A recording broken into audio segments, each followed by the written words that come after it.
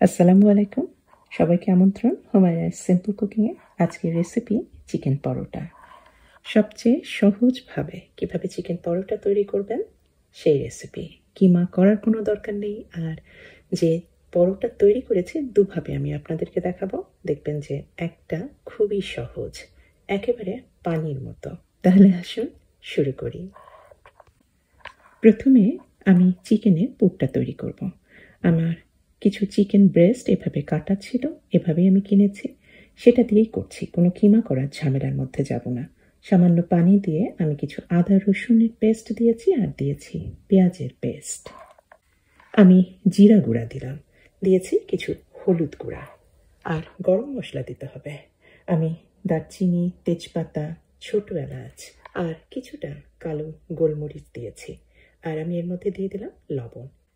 এটাই এখন চুলায় রান্না করব পানিটা সম্পূর্ণ শুকিয়ে না পর্যন্ত। আমি তো শুধু চিকেন ব্রেস্ট এখানে ব্যবহার করছি। আপনারা মুরগির যে কোনো অংশের মাংসই ব্যবহার করতে পারেন। পায়ের মাংস কিন্তু ব্যবহার করতে পারেন যে কোনোটা সম্পূর্ণ পানিটা শুকিয়ে গিয়েছে। এখন দেখাচ্ছি কি করতে হবে।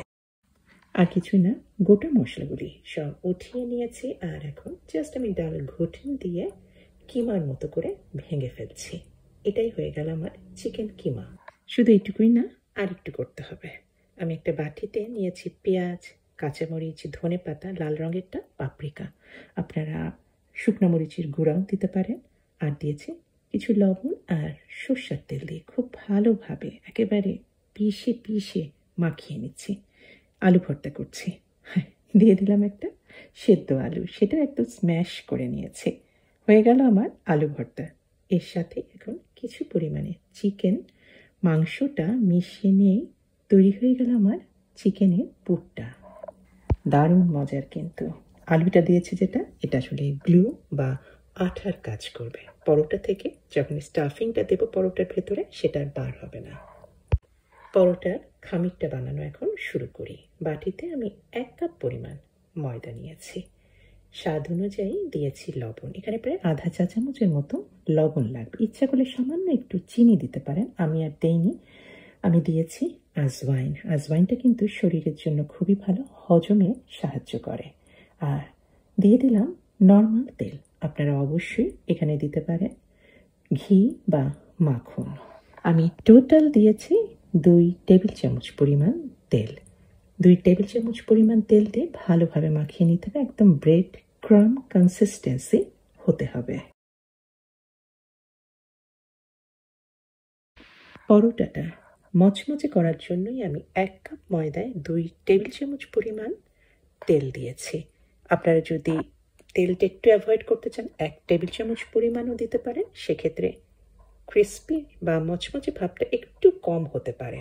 আর পানি দিচ্ছি এখানটায় যেহেতু দুই টেবিল চামচ পরিমাণ তেল দেওয়া হয়েছে, মোটামুটি সিকি কাপের মতো পানি লাগবে। আর পানিটা হতে হবে অবশ্যই একদম ঠান্ডা, ফ্রিজে ঠান্ডা পানি হলে আরও ভালো হয়। বেশ আটো সাটো একটা ডো হয়েছে, বেশ শক্ত। কিন্তু কিছুক্ষণ দশ থেকে পনেরো মিনিটের মতো রেস্টে রাখলেই কিন্তু এই ডোটা একদম নরম, তুলতুলে হয়ে যাবে। হালকা তেল মাখিয়ে ডোটা আমি ঢেকে রেখে দিচ্ছি যাতে ডোটা শুকিয়ে না যায়। পনেরো মিনিট পরে পরোটা বেলা শুরু করছি। এটাতে এক কাপ ময়দায় দুটা পরোটা হবে। দুটা লেচি কেটে নিয়েছি। প্রথমটা দেখাচ্ছি, জাস্ট কিছুটা বড় করে নিয়ে, খুব বেশি বড় করবেন না, জাস্ট বড় করে নিয়ে এর ভেতরে দিয়ে দিলাম পোটটা পোটটা আপনার পছন্দ মতো, বেশি দিলেই খেতে বেশি মজা হয়।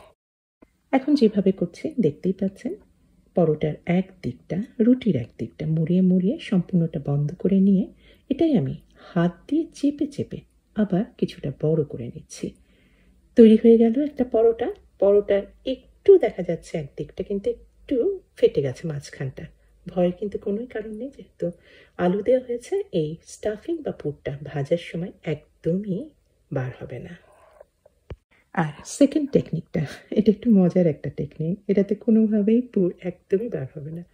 আমি আরেকটা লেচিতে দুটা ভাগ করে নিয়েছি। একটা ভাগে একটা রুটি বেলে নিয়ে তার উপরে আমার পছন্দ মতো স্টাফিং দিয়ে আবার আর একটা লেচিও বেলে নিয়েছি, সেই লেচিটা আবার দিয়ে আমি এখন স্টাফিংটা ঢেকে দিলাম। আর চেপে চেপে দুটা রুটি একদম একসাথে জোড়া লাগিয়ে দিচ্ছি। তৈরি হয়ে গেল আমার সেকেন্ড চিকেন পরোটা। একটু অন্য রকমের, খুব সহজ। যারা প্রথমটা করতে একটু অসুবিধা হবে, তারা দ্বিতীয়টা করতে পারেন। পরোটা ভাজার ব্যাপারে কি বলব? ননস্টিক প্যান নিয়েছি। ওই একই ব্যাপার। সবাই কম বেশি পরোটা, রুটি ভাজতে পারি। নন, গরম প্যানে আমি জাস্ট দিয়ে ভালোভাবে দুই দিকটা ওলট পালট করে পরোটা সেকে নিয়ে তারপরে আমার পছন্দ মতো তেল দিয়েছি। ভাসা তেলে ভাজার কোনো দরকার নেই, ক্যালোরি বেশি হয়ে যায়। আর এটা হালকা তেলে ভেজেও কিন্তু মচমচে হবে। তৈরি করে ফেলেন এই মজাদার পরোটা যখন তখন।